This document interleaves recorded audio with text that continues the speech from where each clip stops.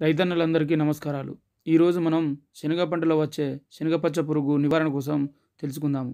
మన శనగ పంటలో విపరీతమైన నష్టం కలిగించేదే ఈ శనగపచ్చ పురుగు. ఈ శనగపచ్చ పురుగు నివారణ కోసం తెలుసుకుందాము. ముఖ్యంగా ఈ శనగ పంట చూసుకున్నట్టయితే పూత దశలో మనకు ఉండడం జరిగింది. మరి అంతేకాకుండా ఇంకొక పది పదిహేను రోజుల్లో ఆ పూత కాస్త కాయగా మారడం జరుగుతుంది. అలాంటి సమయంలోనే మనకు విపరీతంగా నష్టం చేసేది ఈ యొక్క పూతరాళ్ళు మరి అంతేకాకుండా ఈ శనగపచ్చ పురుగు. ఈ రెండు సమస్యలతోనే మనకి అధికంగా నష్టం వాటి వలన జరుగుతుంది. కావున తప్పకుండా రైతులందరూ శనగపచ్చ పురుగు మీద దృష్టి పెడుతూనే ఆ యొక్క పూత రాలేదాన్ని కూడా నివారించుకునే విధంగా చర్య తీసుకోవాల్సిందిగా కోవడం జరుగుతుంది.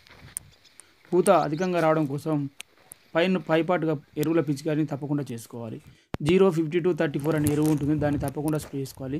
దాంతోపాటుగా జింకు అనే పోషకాన్ని మరియు బోర్ అనే పోషకాన్ని తప్పకుండా స్ప్రే చేసుకున్నట్టయితే అధికంగా పూత అనేది మన చేనులో వచ్చి పూత రాలడం అరికట్ట అరికట్టబడుతుంది.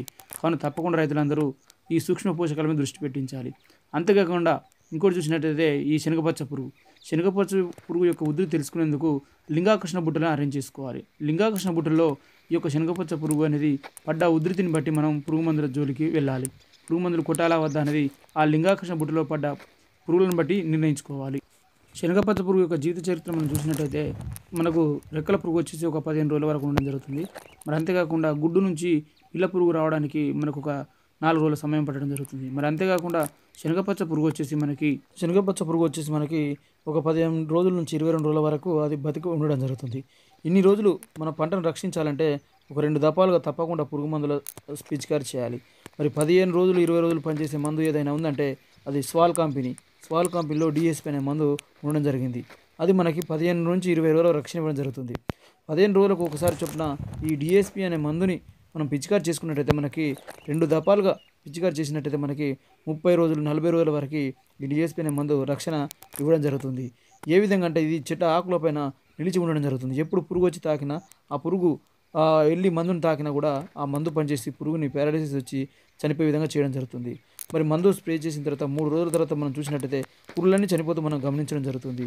చూడండి డిఎస్పి మందు ఏ విధంగా ఉంటుందంటే ఈ స్వాల్ కంపెనీ అందిస్తున్న డిఎస్పి మందు చూసినట్టయితే మరి అంతేకాకుండా ఈ డిఎస్పి మందుతో పాటుగా ఉగ్జాల న్యూట్రియంట్స్ ఇంతకుముందు చెప్పినట్టు జింకు బోరాన్ మరియు అంతేకాకుండా భాస్వరం మరియు పొటాషియాల కలయికతో ఉన్న ఈ ఉగ్జాల్ ఉగ్జాల్లో పది రకాల పోషకాలు ఉండడం జరుగుతుంది.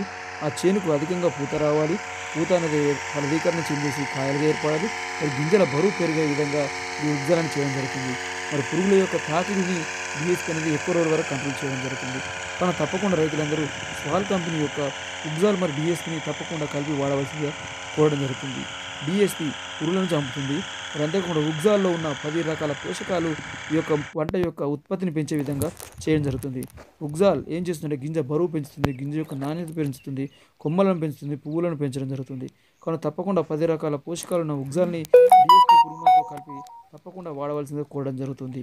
రైతులందరూ తప్పకుండా ఈ ఉగ్జాలు కానీ ఇంకేదైనా కానీ న్యూట్రియంట్స్ కలుపుకొని పురుగు మందులో కలుపుకొని స్ప్రే చేసుకున్నట్టయితే గింజ యొక్క సైజు పెరిగే విధంగా ఈ ఉగ్జాలు అనేది గింజ యొక్క సైజు పెరిగే విధంగా న్యూట్రియంట్స్ అనేది కాపాడడం జరుగుతుంది.